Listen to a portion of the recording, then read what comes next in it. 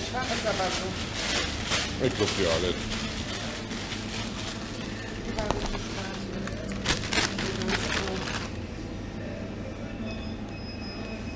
Müssen wir zwei Brezeln mitnehmen? Eins Wahrscheinlich, ne? Ja, nehmen wir noch, nehmen wir noch eine Sesams.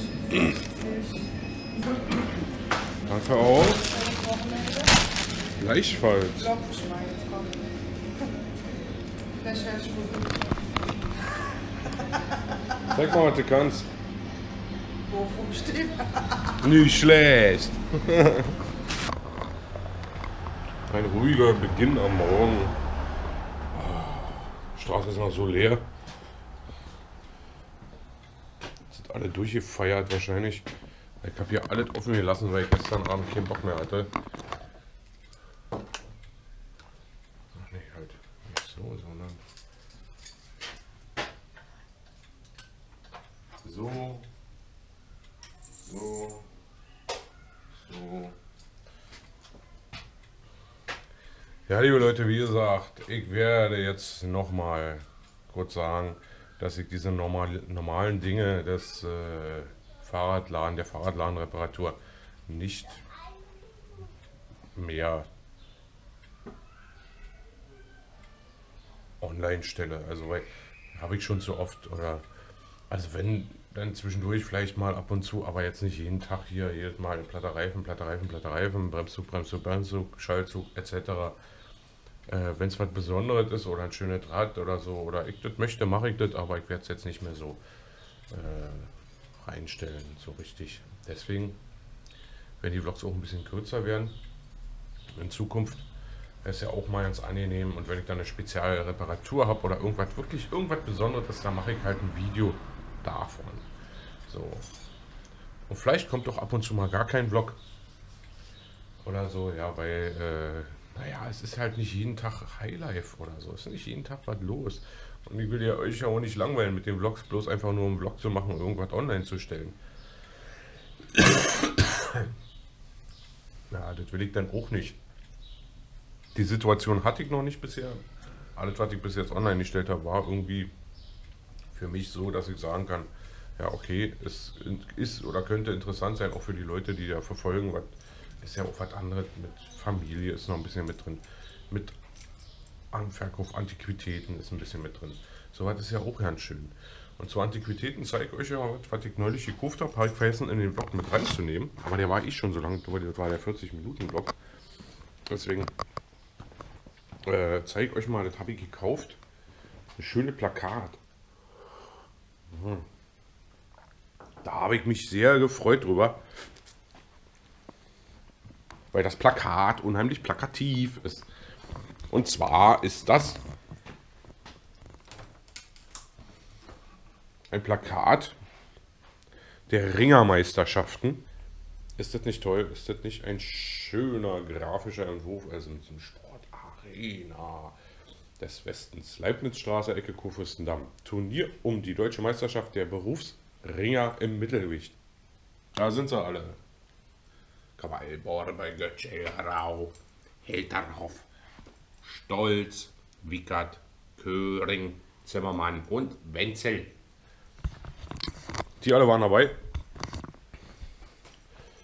Ja, das ist ein schönes Stück. Das muss ich mal irgendwie integrieren, hier irgendwo an die Wand machen. Oder an die Wand vielleicht nicht. Eher frei hängen, wegen, dem, wegen der Feuchtigkeit. An der Wand ist immer schwierig, dann stoppt es von hinten. Ja, das wollte ich euch noch zeigen. Das habe ich nämlich bekommen und das hatte ich nicht im Blog mit drin. Gucken wir mal, was meine Tochter macht. Moin. Ja, du? Hier. Geht. Bei euch? Nee, aber suchen nach so einer Pumpe, die Schlauch. Ach, Pumpe schlaufen. Ja, ich guck mal kurz. Ich guck mal kurz. Pumpe. Ja, und in die andere Richtung drehen. Achtung, nein, nein, nein. Kannst du das noch zuerst? Nach unten, bitte.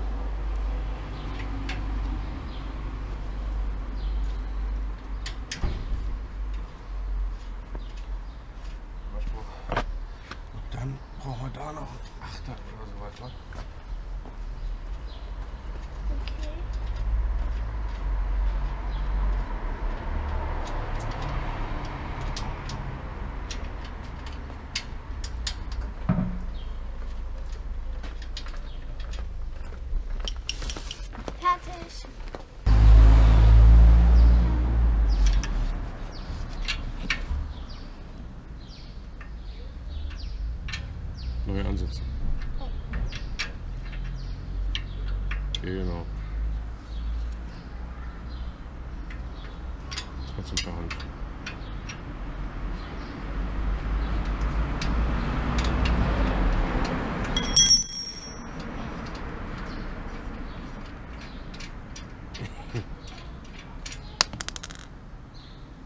Genau, die packst du auch da oben hin.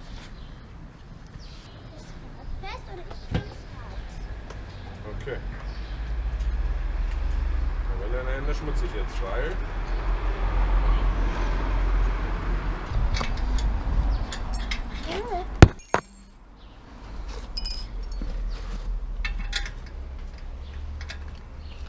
Der passt. Andere Richtung. Oh.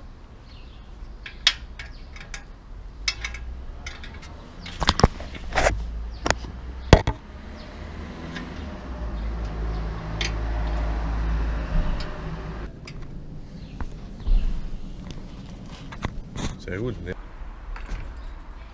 So, Kette ab. Bitte.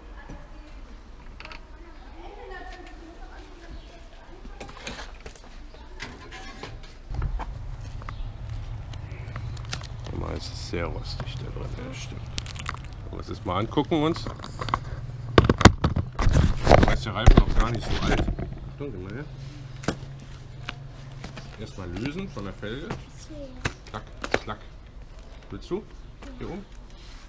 Andere Seite, genau. Und weiter drehen. Weiter. Ist fertig. Ist einmal rum?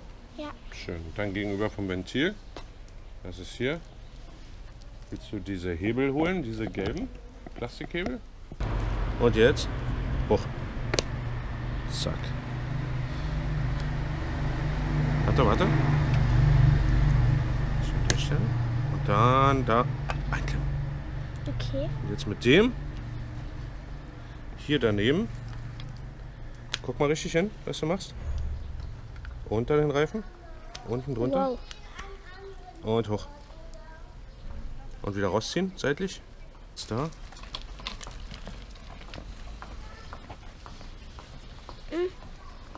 Da. Richtig drunter, unter den Mantel. Unter dem Mantel. Genau. Und hoch. Hoch. Aber Hoch. Jawohl. Und seitlich und raus. Nee, nee. Seitlich und raus. ah, Hier. Guck richtig. Richtig drunter.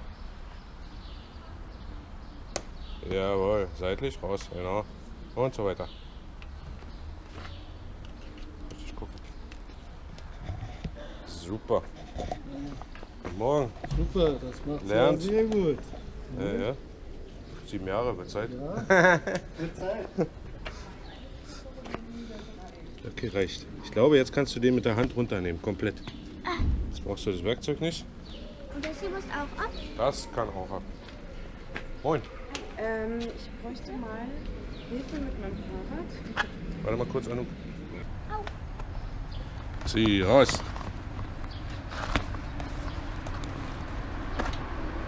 Genau. Nein, nein, reicht, reicht, reicht. Nicht. Jetzt den hier drüber, Schlauch raus.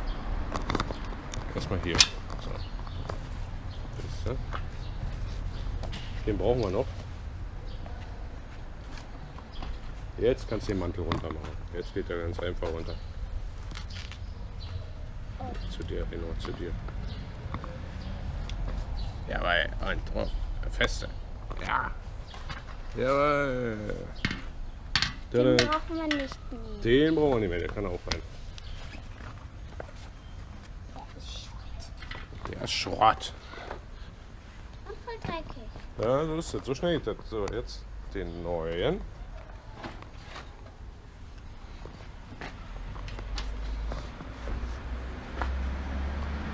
So, lass mal sehen, die richtige Richtung. Erstmal brauchen wir dieses Pulver. Ja. Ja, noch ein bisschen mehr. Ja. Super.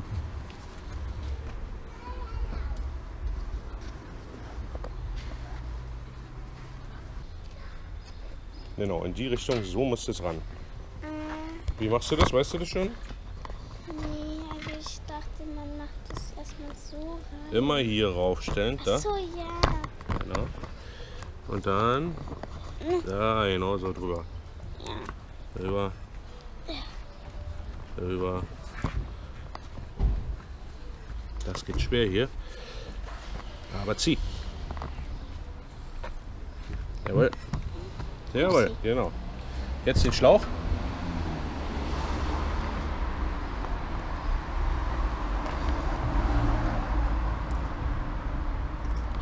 Da rein. Das hilft ja schon. Das ist ein bisschen lapprig, der Schlauch. Da, Kannst du das machen? da. Reinmachen? Ja. Okay, mach ich.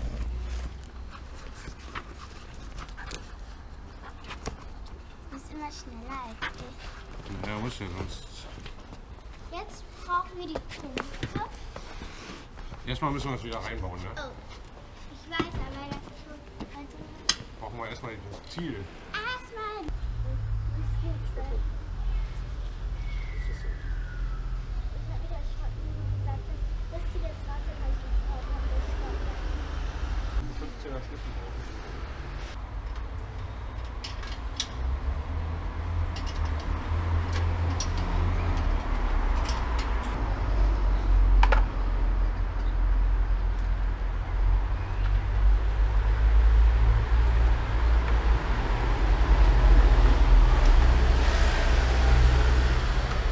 Manchmal ist es ja immer ein bisschen schwer. Nee, bei den Ventilen ist es generell schwer. Da hast du ein schlechtes Ventil erwischt. Ich hab.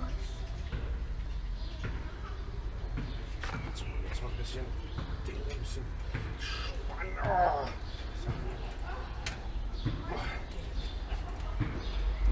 Hoffen wir mal, dass es läuft. Moin. Oh Mann, ich kann meine Räder nicht so anpreisen. Irgendwie verliere ich gegen die, gegen die ganzen Leute hier im Umfeld. Ich kann nicht so offensiv verkaufen. Das merke ich immer wieder. Zeigt eine Kundin gerade gehabt, die geht jetzt erstmal auf den Fahrradflohmarkt dann doch und guckt dann da mal erstmal. Ach Mensch. Ja, so wird das nicht. Ich glaube, ich muss das delegieren hier. Brauche jemanden, der im Laden steht, der das macht. Ich bin leider zu ehrlich als Verkäufer offensichtlich. Kann halt den Quatsch nicht im Himmel, in den Himmel heben. Außer das ist gut. Naja, soll man machen? Das Rennrad ist verkauft, was ich gestern angekauft habe. Und äh, ich bin sehr glücklich darüber. Es ist endlich mal seit langem mal wieder ein Fahrrad, was ich verkaufe. Und äh, ja, ich freue mich. Und ich hoffe, die gute Dame wird damit viel Spaß und Freude haben und er wird es hoffentlich nicht sofort wieder gezockt. Das wäre sehr schade. Jetzt ist gerade Ruhepause. Da freue ich mich. Kann mich ein bisschen erholen. Und heute Abend geht's wieder los. Alle wieder auf immer. Können wir spielen. So, Thorsten ist da. Aber ich muss ja weiter arbeiten. Was zu tun. Ba, ba, ba, ba, ba. Ba,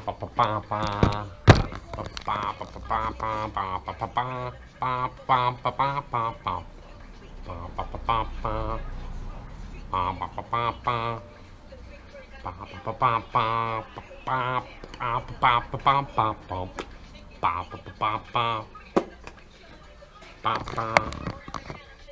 So. Jingle. Wird auf Schleife gelegt. Jetzt kommt's. Gut, jetzt läuft es schon. Ist schon 28. Wir haben sie gerade ein Rad geklaut. Ich kotze voll ab. Oder was jetzt gerade? Vor einer Stunde oder so. Und ich weiß nicht mal, was für eins. Ich hoffe nicht, dass es ein Kundenrad war, ey. Das war so voll auf immer draußen. Alle, oh, stell ab, stell ab, stell ab. Und wollten dann weiter und zack. Und der nächste und noch eine Fahrradvermietung, ey. Und ich hab das Fahrrad ja nicht auf dem Schirm. Ich hab's auch nicht auf meiner Liste. Also Kundenräder sind eigentlich alle da. Deswegen habe ich da. Na, ich mache mir trotzdem Gedanken, oder dass einer so dreist ist, natürlich ein Rad zu klauen, ist schon so ärgerlich. Ey, zum Kotzen. Für Idioten. So. Liebe Leute. Ey, mir ist wieder eingefallen, es war kein Kundenrad. Natürlich war es kein Kundenrad. Auf die passe ich ein bisschen besser auf. Gott sei Dank, ey. Ich hab mich schon, hab ich geholt, ah, was war denn? Hat mir einer zwischendurch ein Rad hingestellt oder so? Nee, nee, war nicht.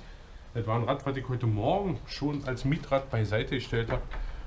Ähm, und was ich anschließen wollte, aber dann kamen eben die ganzen Leute und ich habe das irgendwie vergessen anzuschließen. Und nun stand das da. Immerhin ein paar Stunden. Und das, zack, bumm, auf immer war es weg. Oh. Naja. Bin froh, dass es kein Kundenrad war. Gut, jetzt ist es 8.35 Uhr, ich räume jetzt ein. Heute war nichts Besonderes los, außer dass mir Rad geklaut wurde. Und äh, jetzt ist Fußball gleich, oder ist schon, oder ich habe keine Ahnung, wie es ja niemand. Und ähm, da wird auch nicht mehr kommen. Also sehen wir uns eventuell morgen oder so. Wenn was Spezielles passiert, sage ich Bescheid. Und wünsche euch allen einen schönen Sonntag dann morgen. Ja? Also, schlaft gut. Bis dann. Ciao.